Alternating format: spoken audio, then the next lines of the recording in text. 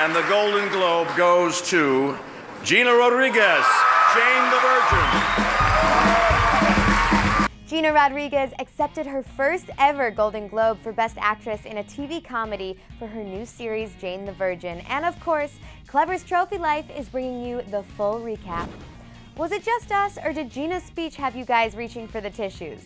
After receiving many hugs and praise from the adoring audience, she made it on stage, caught her breath, and thanked God for making her an artist.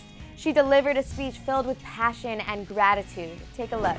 Thank you to my entire cast. I am nothing without you. Thank you to my mom and my dad who telling me to dream big and to never stop dreaming. We'll spare you the tears as that was just a quick glimpse into her speech. However, she did go on to say, This award is so much more than myself.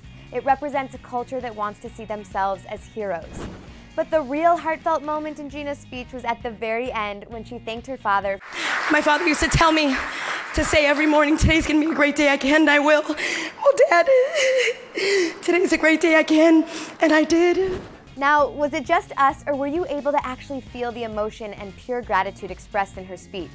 I've actually had the pleasure of interviewing Gina, and the same passion and graciousness she exemplified tonight is how she really is in person. I mean, the girl glows from the inside out.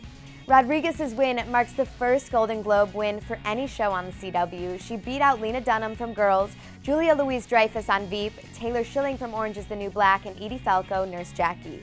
And good news, Jane the Virgin fans, the Laugh Out Loud comedy has been renewed for a full second season, so if you haven't checked out the first season yet, you may want to get to it, and trust us when we say you won't regret it. But before you get to binging, we want to hear your thoughts about Gina's emotional Golden Globe speech. Were you holding back tears tonight, and what was your favorite part? We'd love to hear your thoughts in the comment section below, but don't forget to subscribe to Clevver and then click right over here to get a full recap of JLo's stunning Golden Globe fashion. You don't want to miss that. Thanks for checking in with Trophy Life. I'm your host, Danielle Robay, and I'll see you next time. And while you're at it, don't forget to check out the Golden Globe's best moments and dirty laundry.